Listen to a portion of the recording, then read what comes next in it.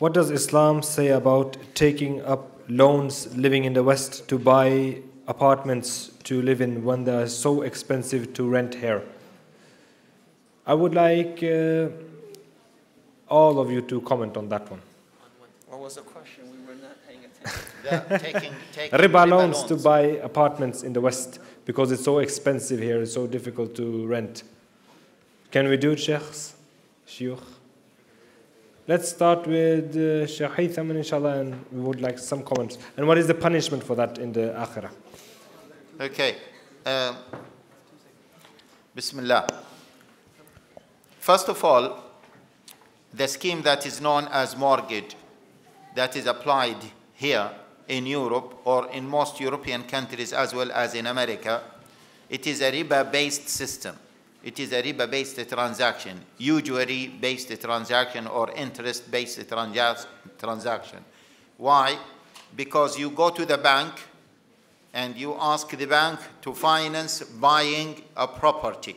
So the bank will transfer 100,000, let us say, dollars to the bank account of the landlord, and then you will pay the bank this money, the $100,000, and a surplus or and an interest. So you will pay it back as 125,000.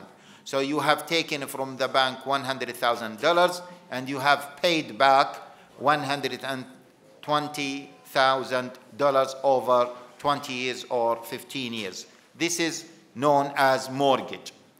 This is exactly the interest-based transaction or the riba-based transaction because the Prophet ﷺ defined riba as money exchanging money for money. In other words, he said exchanging money for different amount of money, whether now or later. So if you exchange 10 uh, krona for 15 krona, this is riba. If you change 10 krona for 8 kronas, this is also riba. Now, as you know, that riba or interest-based transactions or usury based transactions are one of the major sins in al-Islam.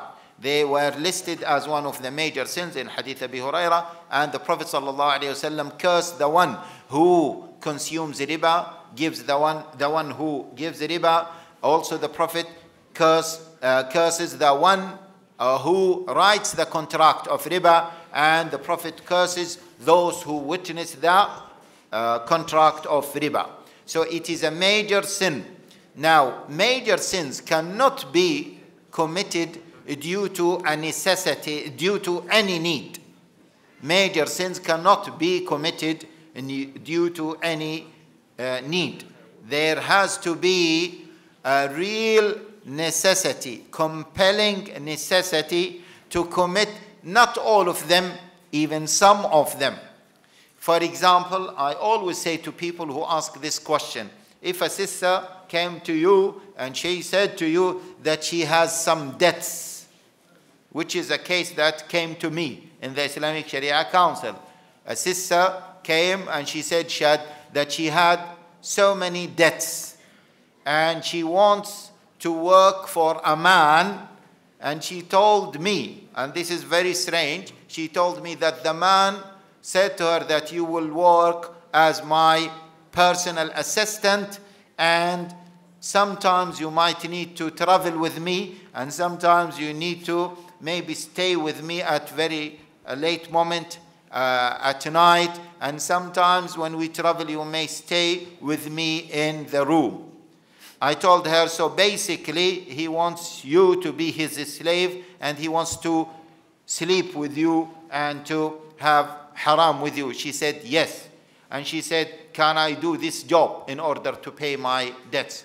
So the question is, can we say to the sister, it is allowed for you to sleep with a man, to have zina in order to pay your debts? Can we allow this? Sheikh, I'm asking you. you said one and a half minutes, Sheikh. Okay. So if that is not allowed, riba is not allowed as well.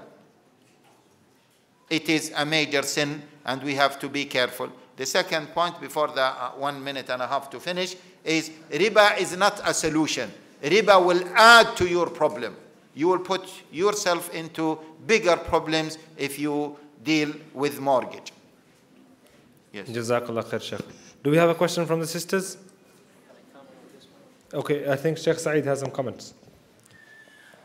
Now, before, I know a lot of you may be hearing a lot of issues concerning interest. I just want to take it down from one step to the lowest level that we can understand this is the, ser- the seriousness of this issue.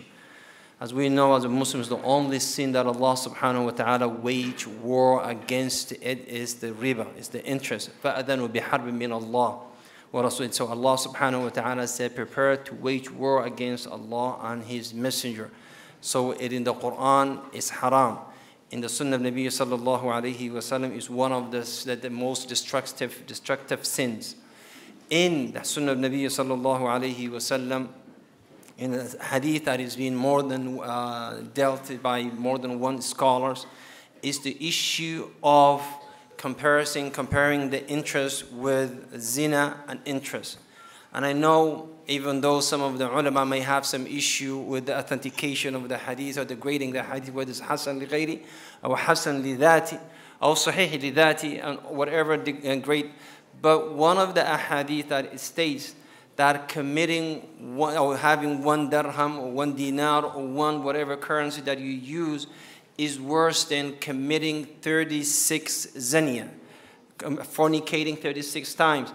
I guarantee you, if your brother, your sister or your mother or your daughter or someone tells, tells you, I committed zina today only once, most of you will cut them off. Now imagine if, the, if one of that is equal to 36, and if some of the narration that says in Mecca and some of the narration inside the Kaaba. So this issue of interest is not, is not a, a simple issue. The second thing is, I just want to conclude this.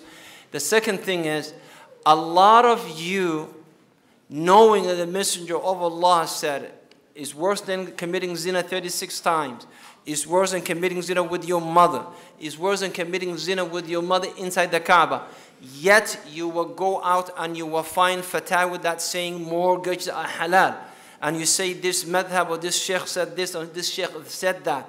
And what I want you to understand is these shiur that you like to follow them in this aspect on the day of Yawm al-Qiyamah when as Ibn Abbas radiallahu anhu said, Allah uh, uh, will give you a sword and he will say, go fight Allah and his messenger.